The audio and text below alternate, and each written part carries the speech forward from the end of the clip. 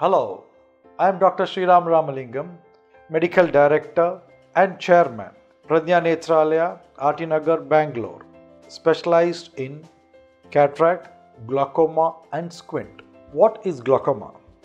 Glaucoma, by definition, is a progressive optic nerve damage which has got multifactorial causes, of which the raised intraocular pressure is only a treatable factor. It may all sound jargon to everybody, but uh, let me explain to you what is the optic nerve.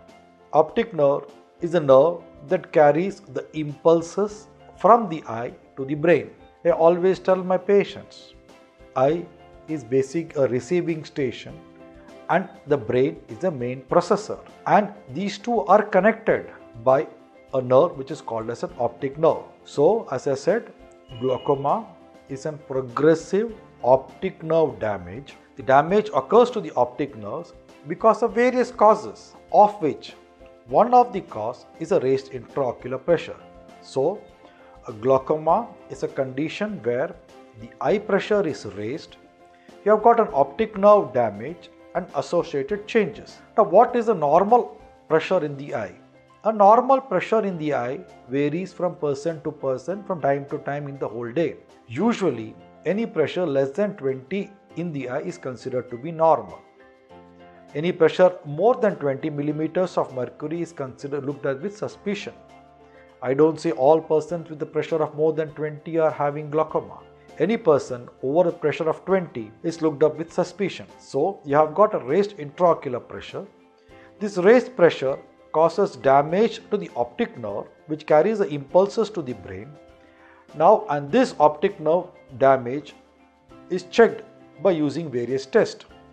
So a glaucoma person has got raised intraocular pressure, optic nerve damage and associated changes in the eye. Now what are the associated changes in the eye is the first and foremost changes that occurs is what is called as a decreased peripheral field of vision.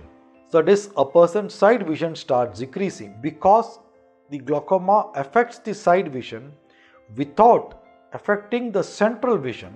So glaucoma is called as a silent thief of sight. That is, it robs you of your peripheral vision without you being aware of it.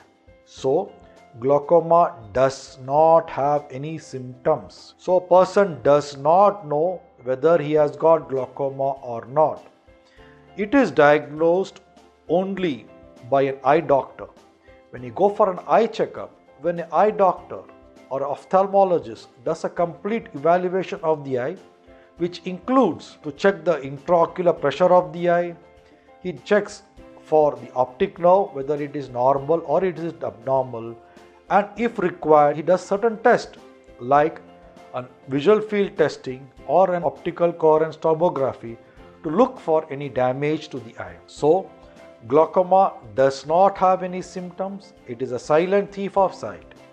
Who are at risk for developing glaucoma? Persons with a family history of glaucoma, anybody over the age of 40 years can be at risk of glaucoma, especially patients wearing high myopic glasses or short sight glasses or high hypermetropic glasses, persons with a history of injury to the eye, persons with a long-term use of steroids for various reasons or even maybe eye drops in the form of steroids or persons with diabetes are more at risk of glaucoma. So everybody after the age of 40 years should have one evaluation by an eye doctor, not by an optician where they only check the glasses and this eye checkup should include a complete eye checkup which includes intraocular pressure measurement, the dilated fundus examination or retinal examination, look at the optic nerve and if required the other test to rule off if the person has got glaucoma.